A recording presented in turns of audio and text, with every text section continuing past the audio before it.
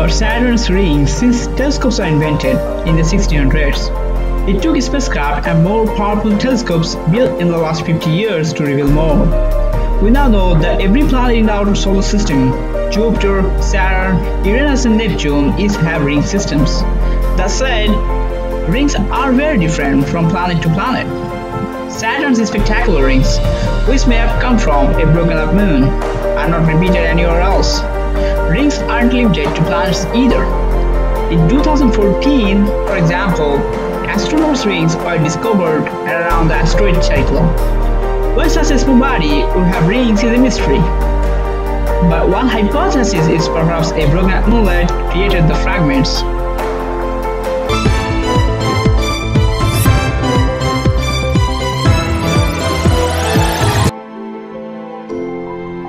Saturn's northern hemisphere has a ragging six-sided stone nicknamed the hexagon. Why exactly it's that shape is a mystery. But what is known is that this hexagon, which shares several features in common with hurricanes, has been there for at least decades, if not hundreds of years. Lightning conditions in Saturn's northern hemisphere began to improve in 2012 when Saturn approached its northern summer solstice. Cassini will continue observing the feature until the end of its mission in 2017, at the height of the solstice.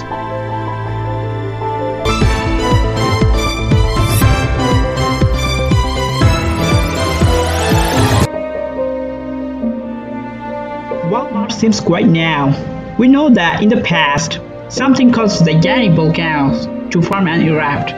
This includes Olympus Mons, the biggest volcano ever discovered in the solar system. At 374 miles, 602 kilometers across, the volcano is comparable to the size of Arizona. It's 16 miles, 25 kilometers high, or triple the height of Mount Everest, the tallest mountain on Earth. Volcanoes on Mars can grow to such immense size because gravity is much weaker on the red planet than it is on Earth.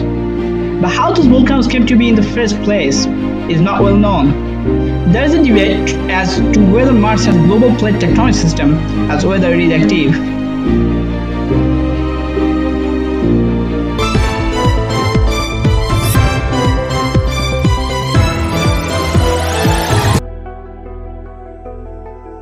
far, scientists have found no evidence that life exists elsewhere in the solar system.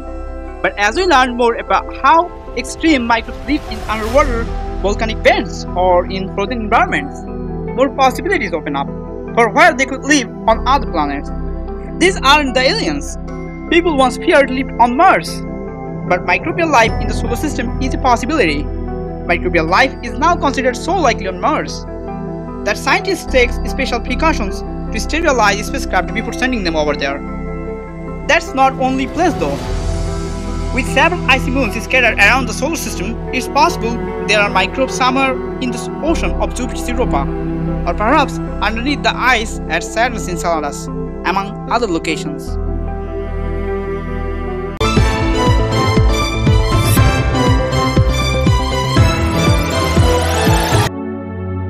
If you thought the Grand Canyon was big, there's nothing compared to Valles Marineris. At 2,500 miles, 4,000 kilometers long, this immense system of Martian canyons is more than 10 times as long as the Grand Canyon on Earth. Valles Marineris escaped the notice of early Mars spacecraft, which flew over other parts of the planet, and was finally spotted by the Global Mapping Mission Mariner 9 in 1971. And what a sight it was to miss! Valles Marineris is about as long as the United States. The lack of active tectonic plates on Mars make it tough to figure out how the canyon formed. Some scientists even think that a chain of volcanoes on the other side of the planet, known as the Tharsis, somehow bent the crust from the opposite side of Mars. Thus, creating Valles Marineris, more closer study is needed to learn more, but you cannot send a rover over there easily.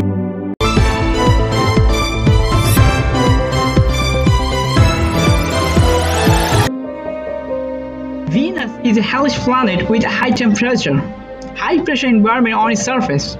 Ten of the Soviet Union's heavily shielded Venera spacecraft lasted only a few minutes on its surface when they landed there in the 1970s. But even above its surface, the planet has a bizarre environment. Scientists have found that its upper winds flow 50 times faster than the planet's rotation. The European Venus Express spacecraft, which orbited the planet between 2006 and 2014, tracked the winds over long periods and detected periodic variations. It also found that the hurricane force winds appeared to be getting stronger over time.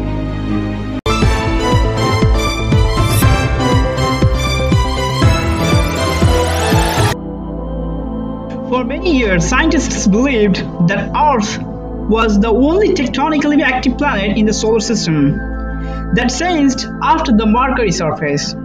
Space Environment Geochemistry and Ranging in spacecraft did the first orbital mission at Mercury, mapping the entire planet in high definition and getting a look at the features on its surface. In 2016, data from Ranging, which had crashed into Mercury as planned in April 2015, revealed cliff-like landforms known as fault scarps. Because the fault scarps are relatively small, scientists are sure that they were not created that long ago. And that planet is still contracting 4.5 billion years after the solar system was formed.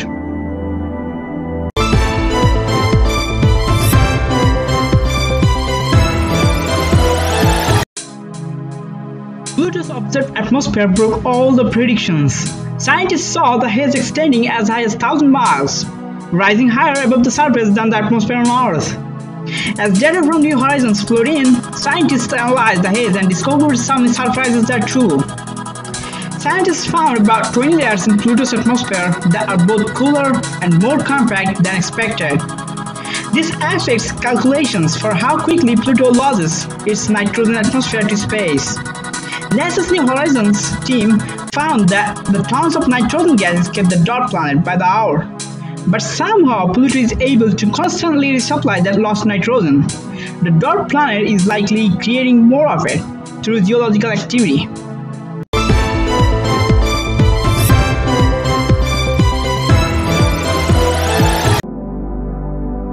Along with being the solar system's largest planet, Jupiter also hosts the solar system's largest storm, known as the Great Red Spot.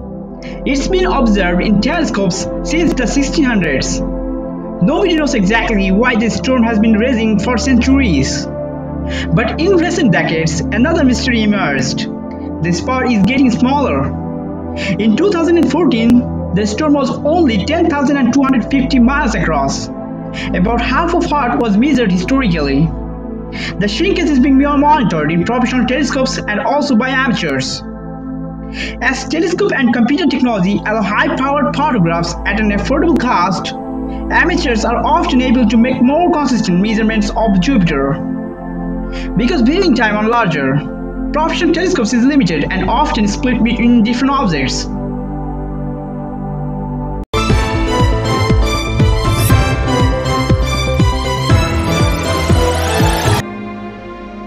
Neptune is far away from Earth and you can bet that sometime scientists would like to get another spacecraft out there soon. Perhaps today's technology could better answer some Neptunian mysteries, such as why the blue planet is giving up more heat than it receives. It's bizarre, considering that Neptune is so far away from the faint sun. Scientists would like to know what's going on because it's believed that the vast temperature differential could affect weather processes on the planet.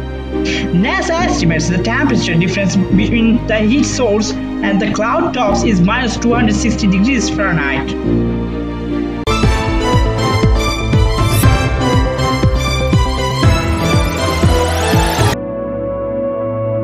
The Sun and the planets likely formed from the same cloud of hydrogen and helium gas. This would especially be true of Jupiter, a planet 317 times the size of Earth that in a lot more gas than our own planet. So if that's the case, why does Jupiter have more heavy rock elements than the Sun? One of the leading theories is that Jupiter's atmosphere is enriched by the comets, asteroids, and other small rocky bodies that it pulls in with its gravitational field.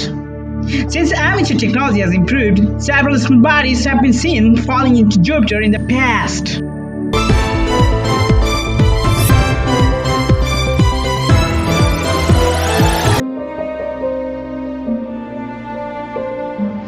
Methane is a substance that is produced by life or by natural processes such as volcanic activity. But why it keeps fluctuating so much on Mars is a mystery. Various telescopes and space probes have found different levels of methane on Mars over the years, making it hard to chart where this substance is coming from. It's unclear if the varying levels of methane are due to telescopic differences or differences in the amount of methane coming from the surface. NASA's Curiosity rover even detected a spike in methane during one Martian year They didn't repeat the next, indicating whatever it saw was not seasonal. It will likely take more long-term observations of Mars to fully figure out the mystery.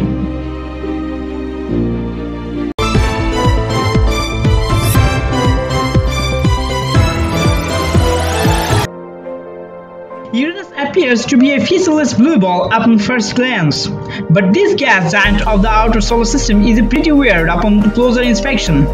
First, the planet rotates on its side for reasons scientists haven't quite figured out. The most likely explanation is that it underwent some sort of one or more titanic collisions in the past. In any case, the tilt makes Uranus unique among the solar system planets. Uranus also has tenuous rings, which were confirmed when the planet passed in front of a star in 1977. As the star's light went on and off repeatedly, astronomers realized that there was more than just a planet blocked, blocking its starlight. More recently, astronomers spotted storms in Uranus. Atmosphere several years after its closest approach to the Sun, when the atmosphere would have been heated the most.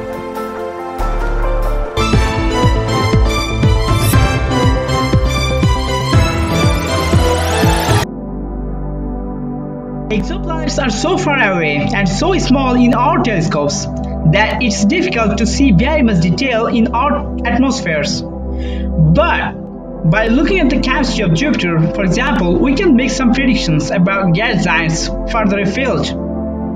If we look at Earth and Neptune, we can get a better sense of a range of planetary sizes on which life could exist. And even looking at where water freezes in our own solar system can help us better understand the ice line in other locations.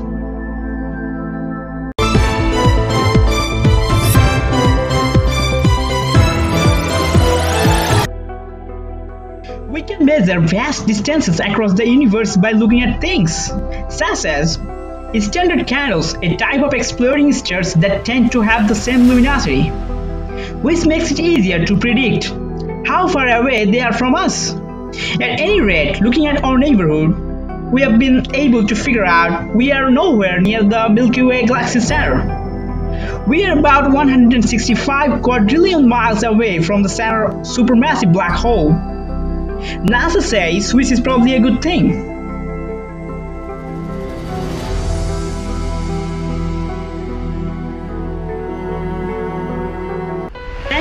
Much for watching this video. Don't forget to subscribe and react and I will see you guys next time.